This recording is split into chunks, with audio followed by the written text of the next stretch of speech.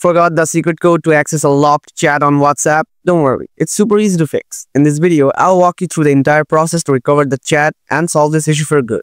Let's dive right in. When you log a chat with a secret code, it won't show up in your chat list, but there is a simple way to find it if you've forgotten the code. Open WhatsApp. Now I'm going to use this ID as an example for you. Now let's start by locking this chat with the secret code. Tap and hold on to the chat. Now tap on the three-line icon in the top right corner. Tap on Lock Chat. You will need to set up a fingerprint or face lock for this, so make sure to do that beforehand. Now tap on continue. After that, you will be asked to confirm this with your fingerprint. Touch the fingerprint sensor of your phone to confirm. In case your phone has no fingerprint, you can use your phone's lock pin instead. After this is done, you will see that the chat is nowhere to be found. And since you don't remember your code, you won't find the chat by searching for it either. So what you can do is go to the call section and here, search for the contact you have logged the chat for.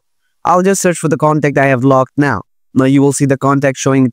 Tap on it. Now use your fingerprint or phone's PIN code to open the chat. The chat will be open now. After this, tap on the chat's profile in the top. Now find the chat lock option. Toggle this to the off position. Use your fingerprint or PIN once again. Once you're done, if you go back to your main chat menu, you'll see that the chat is back once again. That's how you can fix if you've forgotten your secret code for WhatsApp locked chats. If this guide helped you, don't forget to like the video and subscribe to the channel for more awesome tips like this.